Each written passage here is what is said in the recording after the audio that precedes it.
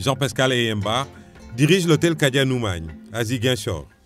Nous savons que le, secteur va nettement mieux que ce que nous avons vécu en arrière. Les mesures de la levée de l'interdiction de voyer sur la Casamance, les taxes que l'État a bien voulu exonérer au secteur touristique dans cette région, l'État a dragué le fleuve, c'est pour, elle a, elle a mis trois bateaux qui aujourd'hui ramènent des touristes de Dakar ici. Tout ça pour nous accompagner après euh, 35 années de conflit. C'est très appréciable. Nous ne l'avons jamais eu. Les différentes mesures initiées par l'État du Sénégal devraient permettre aux acteurs de relancer le secteur touristique en Casamance. Je crois que entendre que l'État est en train de créer une société euh, aérienne nationale et donc cela va favoriser davantage le tourisme au niveau de, ce secteur, au niveau de cette région. Ça va nous permettre aussi de vaguer à chercher de la clientèle, des touristes à l'extérieur. Nous devons aussi saisir cette opportunité pour que nous nous mettions à travailler, à organiser, mais réellement le, le, le travail du tourisme pour que nous faisions de ce tourisme vraiment un vecteur économique, mais vraiment utile à notre, à notre pays. L'horizon s'éclaircit pour le tourisme. Le secteur retrouve des couleurs, son interdépendance avec les transports aériens le place désormais dans une heureuse perspective. Le plan Sénégal émergent, référentiel économique de notre pays jusqu'en 2035, accorde à ces deux sous-secteurs une importance de choix. Le PSE ambitionne de faire du tourisme un puissant levier de croissance et de création d'emplois. Comme préalable, le pays se positionne déjà comme un hub aérien régional compétitif.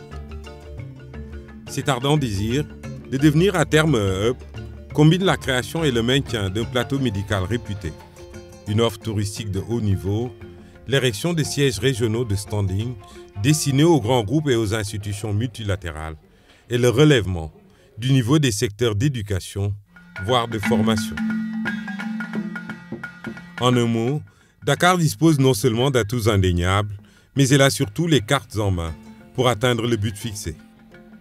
D'abord, la mise en service en 2017 du nouvel aéroport international Blaise Diagne constitue un axe pivot de cette stratégie de redéploiement, avec la construction du train express régional et l'achèvement de l'autoroute à péage reliant Dakar à Sali. Ensuite, la réhabilitation des aérodromes régionaux à fin 2018 réveille le trafic interne et désenclave les zones de production jusque-là tributaires des aléas du transport routier. Enfin, l'appétit venant en mangeant, le démarrage imminent d'une compagnie aérienne nationale complète le tableau et donne des ailes à ce tourisme en quête de second souffle. D'ores et déjà, la TVA pour le secteur touristique est passée de 18 à 10% La Casamance a été érigée en zone touristique d'intérêt national pour attirer plus d'investisseurs et la mise à niveau des infrastructures hôtelières est bien engagée avec l'appui du Bureau de mise à niveau BMN. Dans le même temps, la requalification de la station balnéaire de Sali est en cours.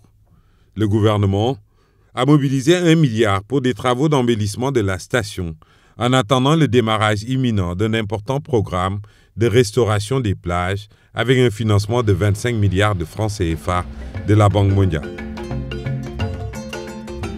À l'heure actuelle, le tourisme représente 6% du PIB du Sénégal et génère près de 100 000 emplois.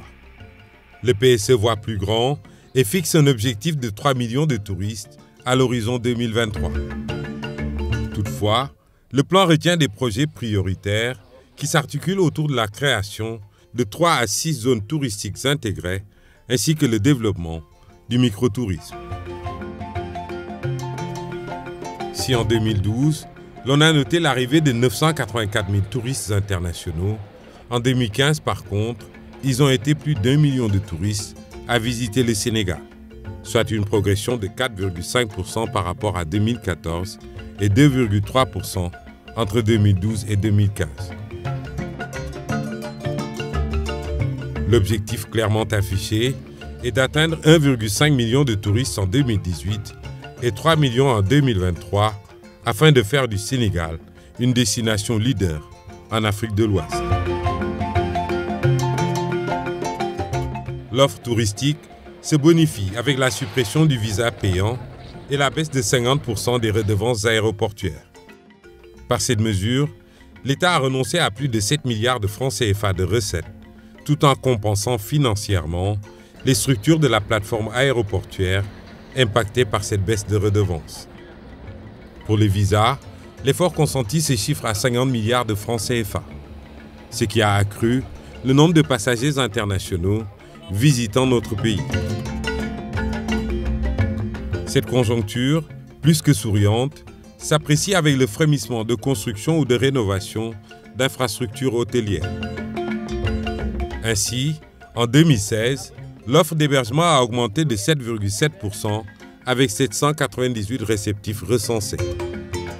Pour accompagner cette dynamique d'investissement, les pouvoirs publics ont encouragé la mise en place d'un crédit touristique estimé à 5 milliards de francs CFA dédié à la rénovation et à l'extension de l'offre touristique. Par ailleurs, le gouvernement a mis en place l'Agence sénégalaise de promotion touristique, dotée d'un budget de 2 milliards de francs CFA pour mieux soutenir le secteur. Le projet phare demeure cependant l'exploitation imminente de la Pointe Sarène comme future station balnéaire avec les prévisions de construction de 120 villas de luxe, un centre commercial, 5 blocs hôteliers de standing international, une réserve animalière et un parcours de golf. Plusieurs projets hôteliers sont en cours d'édification et cela de façon simultanée à Dakar. Avec Sheraton, ex-hôtel des Almadies, Lacoste Hayat, Hôtel Kharafi, Hôtel Azalai et le club Metsaraba, ex-club Aldiana. Tout cela devrait permettre non seulement de densifier l'offre pour le tourisme d'affaires et le tourisme médical, avec le relèvement attendu du plateau technique hospitalier, mais également pour le tourisme religieux. Les efforts de rénovation de l'offre requièrent un système de financement approprié et durable.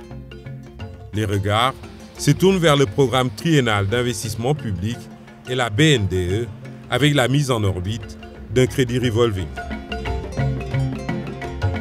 Le Sénégal renoue avec les canaux d'influence pour rendre sa destination attrayante.